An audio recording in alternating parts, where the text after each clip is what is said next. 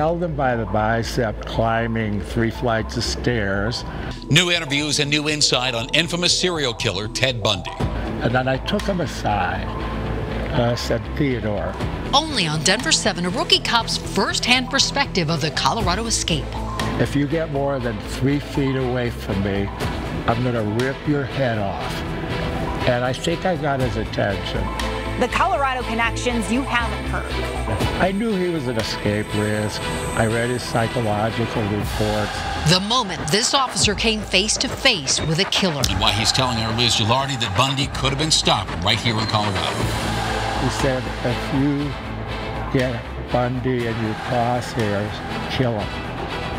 And you tell us your story. We've had so few homicides here. It's almost like Wonderland. A beautiful place to hide. They disappeared and Bundy was somewhere near. In the mountains, in Aspen, in the mid 1970s. So we went from grass to cocaine about the same time Bundy was here. 74 years old now, Bob Braudis is a ski bum turned deputy, turned longtime Pitkin County sheriff. At the time, he was on the job three months, a rookie. My boss asked me to take Theodore Bundy up to the court uh, for a hearing early upon his arrival here from Utah. Bundy was facing murder charges, accused of killing Caryn Campbell, a nurse vacationing with her fiance. She disappeared from their hotel in Snowmass, her naked body found weeks later. But the rumors, the investigators, when they were networking, thought at that time he might be a serial killer. The risk wasn't lost on the rookie deputy. Back then, the judge wouldn't even allow guns in the courtroom. I knew he was an escape risk.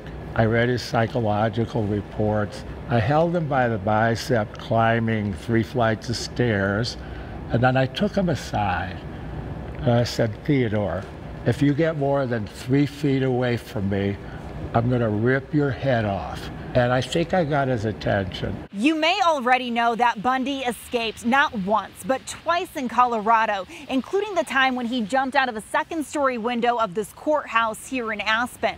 But was he planning that escape all along? The former sheriff says he had a bizarre request. He wanted me to go to the library and get him a copy of Harry Houdini's biography. He wanted me to get him topographic maps of this area. Braudis wasn't on the clock when Bundy escaped, but he remembers being called in, the manhunt, and a run on guns in town. There was a, a wave of panic. There were dozens of women lined up at the gun store to go in and buy a pistol. Less than a week later, Bundy was back in custody. He went on to escape from the Garfield County Jail before he was ever convicted of any murders in Colorado. And decades later, a lack of resolution hangs over the Vail Valley. Julie Cunningham's body was never found. She's still listed as missing. Cunningham was a Vail ski instructor. Investigators believe she was killed somewhere between Glenwood Springs and Grand Junction. Her body dumped in Rifle. For us, that's really the last piece of the investigation is, you know, we would like to recover her remains and, and give the family closure and a proper burial. Vail police say they won't forget about her, but want to forget about Bundy. That's the bittersweet part of giving him publicity. He truly is a coward that, that preyed on people. I would rather celebrate the victims for the lives they, they led rather than celebrate him for the the lives he took. After Colorado, he took more lives in Florida. I think one of the questions is could this have been stopped here? Had he not escaped to Colorado, I think he would have been convicted and gotten life in prison or the death penalty here.